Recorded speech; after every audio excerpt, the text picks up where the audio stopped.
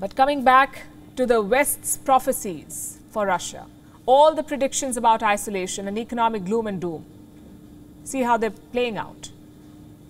Russia is predicted to have a very sharp recession in 2022. Now it's we are predicting negative 6% for 2022. Before we were predicting negative 8.5. So that's the upward revision. But it's still fairly sizable uh, recession in Russia in uh, 2022. The European economy, we're reducing down the uh, growth levels to uh, about 2.6%, but it's still positive. We just heard the IMF's chief economist. He says the Russian economy is doing better than expected. What was expected? A collapse of the Russian system. At least that's what the West had expected. Ever since Russia invaded Ukraine, the West has been slapping sanctions. This week, for example, began with the headline Britain targets Russian officials in new wave of sanctions. Russia's officials have been targeted. Banks have been targeted, brands have been targeted, financial institutions have been targeted, trade has been targeted. Basically, everything Russian has been sanctioned by the West. And what's the end result? Here's what else the IMF chief economist said, and I'm quoting The Russian central bank and the Russian policymakers have been able to stave off a banking panic or financial meltdown when the sanctions were first imposed. He also said that the rising energy prices are quote unquote providing an enormous amount of revenues to the Russian economy. What about the West? The countries that slapped sanctions on Russia, how are they faring?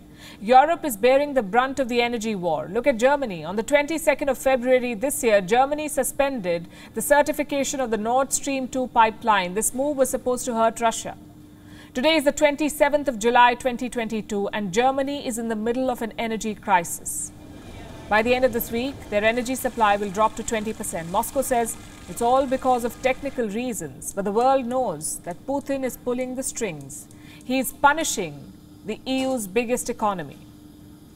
European sanctions are basically boomeranged. The 27 EU states are scrambling to fill their gas storage. Case study number two, the United Kingdom. On the 22nd of February, the UK froze assets of five Russian banks. Again, it is the 27th of July today. The IMF is upgrading Russia's GDP estimate by two and a half percentage points. What about the UK? Its inflation has hit a 40 year high and it faces a 50 50 chance of recession. And I'm not saying that the Russian economy has not been affected at all. Russia has taken a hit, no two ways about it. Its economy is going to contract by at least 6%. But for the West, it will be a Pyrrhic victory, if you can call it a victory at all. The UK, for example, is expected to grow by 0.5% in 2023. This too is from the IMF forecast. Moral of the story sanctions don't work. And we told you this a long time ago. What's the point of these sanctions or of forcing a country to default on its debt when creditors know very well that the default is artificially orchestrated? Today, energy prices are shooting through the roof thanks to the Western sanctions. As for Russia, it is neither badly affected nor isolated. You heard what the IMF had to say. Now look at where Russian Foreign Minister Sergei Lavrov has been jet setting. He is on a tour of Africa. So far, he's visited Egypt, Congo, and Uganda. Next stop, Ethiopia.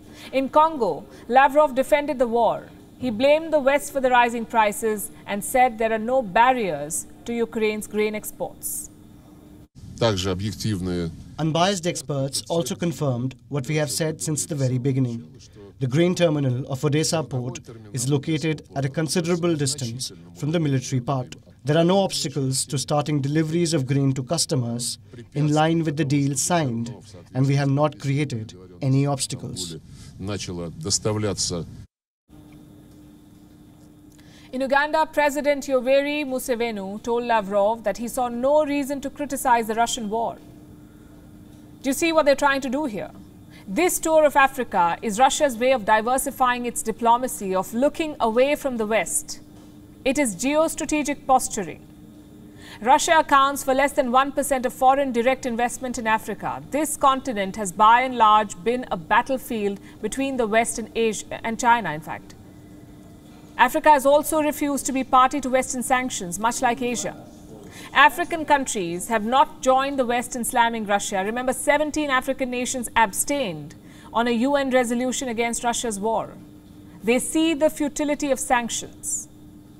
And Russia sees another opportunity to counter the West. WION is now available in your country. Download the app now and get all the news on the move.